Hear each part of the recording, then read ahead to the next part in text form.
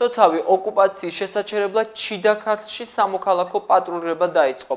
არარსებულ საზღვართან მოძრაობა ძალა ერთობაშია წარმომადგენლები უკვე გამოჩნდნენ და პერიმეტს აკონტროლებენ.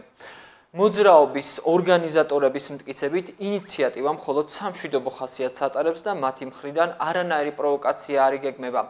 პარალელურად განცხადებას ავრცელებს შინაგან საქმეთა სამინისტრო მღებრიშვილის უწყების ცნობით საოკუპაციო ზოლთან პერმანენტული გადაადგილება საფრთხის შემცველია. ოკუპანტების მხრიდან საქართველოს მოქალაქეების გატაცების და მცოცავი ოკუპაციის შესაჩერებლად დღეიდან სამოქალაქო აქტივისტებმა პატრულირება დაიწყეს. ისინი მარიონეტული რეჟიმის მიერ განხორციელებულ უკანონო ქმედებებს საოკუპაციო ზოლთან ყარაფილა ბერშუეთის მონაკვეთზე დააკვირდებიან და გააკონტროლებენ. ძირითადად ეხლა ამჟამად არიან უბრალოდ სამოქალაქო პირები, რომელთაც აწუხებს ეს თემა და ჩვენი თავარი მიზანია რომ ეს გავაღვიძოთ ის მიძინებული მუხტი რა ხალხში რომელიც რომელიც დღეს საქართველოს ჭირდება რა. და აი პირველ რიგში აი ხალხს რომელიც უკვე შიშის ქვეშ ცხოვრობს. შეიძლება ერთ დღეს უბრალოდ თავის ნაკვეთზე ვეღარ გავიდეს ადამიანი და მე მგონი ეს თითოეული ქართველისთვის უნდა იყოს გულის ტკივილი და გამოხატო. ჩვენ დავიწყეთ ეს მოძრაობა და იმედია რომ ამას შემოუერთდება ბევრი ხალხი რა ასე. სამკაციანი ჯგუფები კასპის მუნიციპალიტეტის სოფელ ნიგოზასთან დღეს მთელი დღის განმავლობაში იმყოფებოდნენ და არსებულ ვითარებას სწავლობდნენ. აქტივისტთა ჯგუფის წევრების თქმით, ოკუპანტების ქმედებებზე დაკვირვებას უსაფრთხო ზონიდან დურბინდის საშუალებით განახორციელებენ და საჭიროების შემთხვევაში ისინი საზოგადოების დროულ ინფორმირებას მოახდენენ.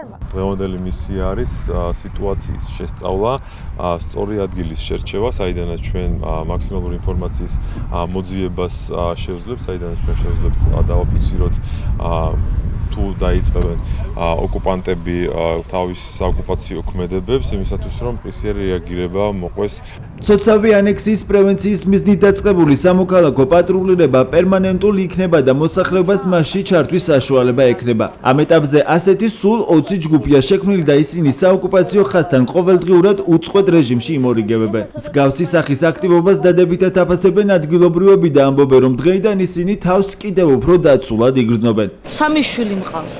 მეც მეშინი, აი წინა ომი რო იყო კახეთში ვიყავი იმდენი ხანი. ვიღაცა რო სამშობლოში ვიყავდა. მეც მეშინე და მადლობელი ვიქნები თუ ვინმე დაგვიცეს. ჩვენთვის კაია, კაცო დაცულები რო ვიქნები, ჩვენთვის კაია. შვიდათ დავიძინებთ. შვიდათ გავიღვიძებთ. ნელ-ნელა რო იწევიან აქეთ რუსები, არავის ეგ არ აწყობს. სოფლის ხარს აწუხებენ, მიწები ერთმევად. ნათესები აქვს და ვერ იღებენ თავად ნათესებს. და ყველა კარგავს თავის მოსავარს. ეს არ არის ლამაზი. და ამას მე მგონი ყურადღება მიაქციონ რა ჯობია რა.